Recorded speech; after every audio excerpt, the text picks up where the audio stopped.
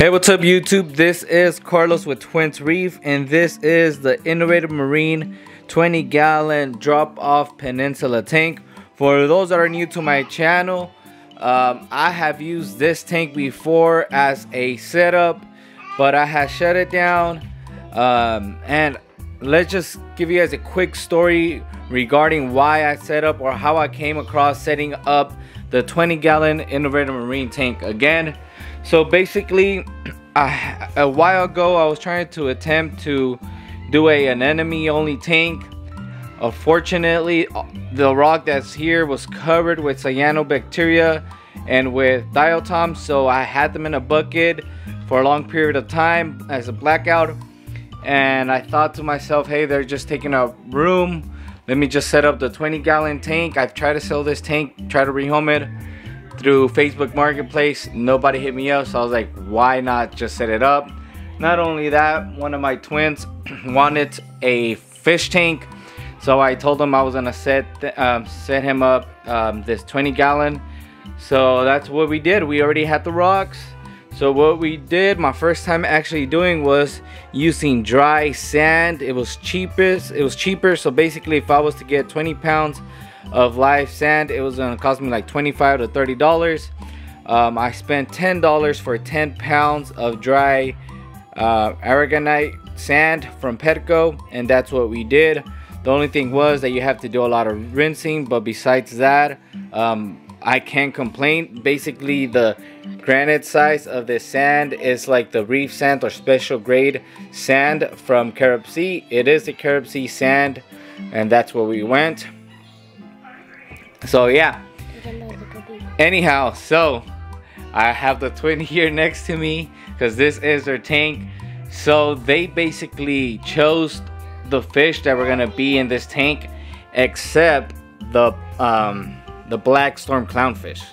I was tired of having him in my display tank, knocking all the corals down. So I captured him and I dropped him off here in the drop off tank. But besides that, there's other fish that we really don't see. Um, I think the, their first fish that they got was a firefish. So I kind of wanted them to have like an easier fish to keep as their first fish, which was a um, a damsels. We went to um, the local pet store here in Stockton, California called Twins Aquariums. And they, for some reason, they didn't like the damsels and they decided to get a firefish. Um, fortunately for them, that firefish doesn't really come out. The first days to a week, we thought that firefish jumped out because we do not have a lid. Um, but it hides out. It's probably my fault. The way I, I did the rock scape, there's a bunch of rubble in the middle of the tank there. Um, and he's always there. I saw him earlier today after the firefish they wanted something different so they're always in youtube looking at all these videos regarding fish um, amphibians reptiles and the fish they really wanted was a um, a shrimp goby with it's a pistol shrimp. It's down here you can see it. So i don't know if the camera's gonna pick it up so we're gonna try to use this flipper magnet or whatever it's called and yeah the camera's not gonna pick it up but basically there is a um, pistol shrimp and a shrimp goby there. It's really hard to capture them on video. If they come out they'll just pick, peek out a little bit or to get some food but they don't really come out so that was like a bad choice too as it comes for fish. But hey that's the fish they wanted and recently um, we went to the pet store because they've been having issues with algae and it seems to be again the same issue with diaflectans if that's the correct name to pronounce it. Not diatoms it's like the other one. Um, as you guys can see in the rocks. Um, I don't think it's the flow because there's flow. Um, there was a little bit of, of, of, of hair algae um, but we were able to get rid of it. Um, so we decided to get another fish and that fish was a um, fresh or saltwater molly. I was gonna say freshwater molly, but it's a um, saltwater molly. Which let's see if we're able to pick it up in the camera. It's actually right there as you guys can see by um, the return nozzle. let's see if we can pick it up no we can't um, but it is right there and it's not really an active fish I feel bad for it because as you guys know these fish are actually freshwater fish that they were acclimated for salt water um, but I've heard supposedly that they're really good at um, eating algae, especially hair algae, but this fish hasn't been so active. Neither has the um, the firefish. The only fish that's active is the clownfish, which I think they belong to the damsel family. Um, they are also hardy. Once, when we first set up this tank, guys, I thought to myself that the rocks were already cycled. I knew the sand was basically dried. Um, we didn't add no fish like for a week. But once we got our first fish, or I think before then, we were already dosing um, beneficial bacteria every day. Um, we actually did two bottles. One was a Fluval bottle, the other one was Seachem bottle.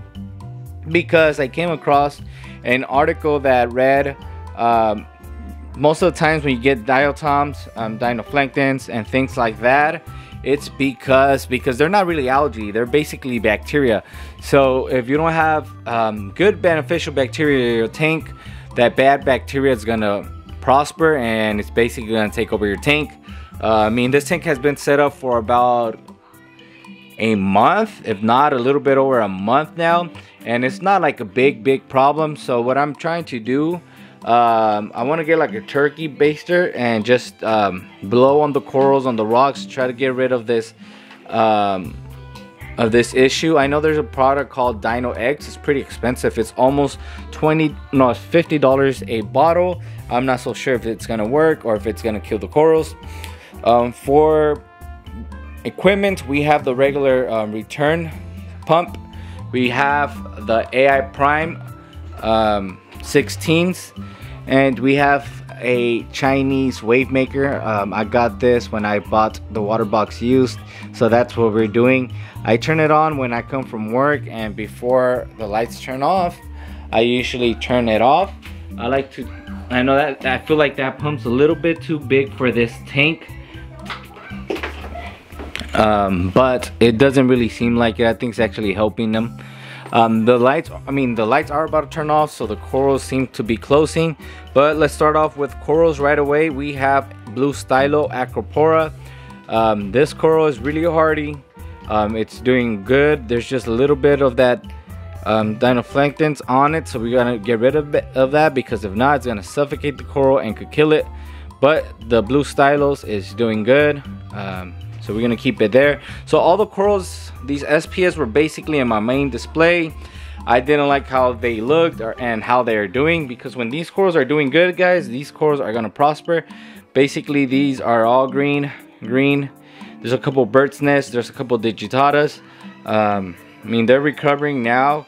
And once they recover, this tank's gonna look super dope, especially once these white rocks turn um, purple with coralline algae. We were also thinking of getting a, a, Tuxedo Urchin. We went to all the stores that we have locally. Unfortunately, we were unable to find a Tuxedo Urchin because they're really good at consuming algae and things like that. Just one thing with Tuxedo Urchins that um, they will also consume or eat all that coralline algae. So if that's something that you like, um, coralline algae, you will not have coralline coralline algae if you were to have a tuxedo. That's what I've heard. Never owned one, but that's what I heard. Let's continue with the corals again. We have um, some red discosomas. These are basically corals, mushrooms that I didn't like in my main display or just the mushrooms that detached themselves from the mushroom colonies. So we have red discosomas. Another red discosoma. We have Superman right there. The camera's not gonna pick it up. Um, they always looked at my tank and they thought my Euphyllia were anemones and they said they really like them. So uh, we went to the, when we were looking for that Tuxedo Urchin, we found two splatter hammers for $50. I bought one for my tank and I bought one for them. Because um, if not, if we were just to get one frag, it was going to be 30 or two for 50. So that's what we did. This coral is really healthy and puffy. Again, the light's turning off, so it's probably the wrong time to record. Um, but uh, this coral is really good and healthy and it's nice. It's bigger than how it shows now. Um, what else? So we have the corals here on top. Let me turn off the return. That way you guys are able to see. So one thing I noticed on this tank, the SPS are actually doing better than the ones in my main display. Um, I don't dose this tank at all. I just do water changes. I was doing water changes um, every week to get rid of that dinoflectins. But I just recently started to do water changes um, every two weeks. Um, so we have like this green bird's nest right there. It's doing good even though it has that dinoflectins. There's another bird's nest there that I mean I know they're not doing good but they're doing better than how they were doing in my tank. Um, same thing as the digitata. Um, bird's nest over there is doing really good. There's another bird's nest. This one has no um, on it. But the one next to it does have some. So that's why I want to get a turkey baster hopefully soon. That way we get rid of this dinoflectins. I'll keep you guys updated. Tell you guys how I got rid of it. Um, then we have the Blastos that for some reason wasn't doing good on my tank. So we'll see if it could recover. And there's more of these Corals SPS, which I don't really know the name of it. But this one here, I know the camera isn't going to pick it up. But it, from the front of the tank, because the light doesn't really hit it there, uh, you know, it doesn't look green. But from the top view, guys, um, both of them look like they have some green, especially the one right here where the light's hitting. Let's see if I could pick it up um, if I move the light. But um, yeah, so that one's doing good but it, you know we'll allow time uh, and see if these corals can recover. Right now basically we just want to get rid of dinoflectins and any type of algae that we have. We recently introduced um, 10 hermit crabs as well as 10 different type well 10 in total but between those 10 different type of snails Astrea snails and I forgot the other two snails. Uh, I know this one's different. This one's not Astrea.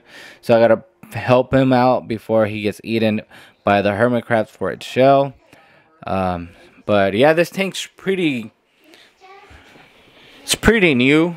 Um, the kids don't really like the SPS um, because they say they don't move. They're just there. They don't have no color. They say their thing's ugly. They kind of want Euphyllia as well as anemones. But we'll see. Um, time will tell.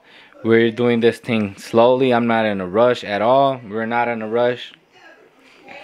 Um, we actually removed the filter sock and we're using floss.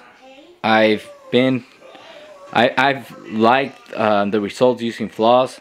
Um, so that's what we're doing. But anyhow, this is the quick introduction of the Innovator Marine 20 gallon tank. It's basically starting a tank from zero. Um, because the rock's basically like dry rock or dead rock as you guys can see is really white. Before this rock was all covered with coralline algae, lost everything. But yeah, anyhow, appreciate you guys for watching. I'll see you guys in the next video. I'm out. Peace.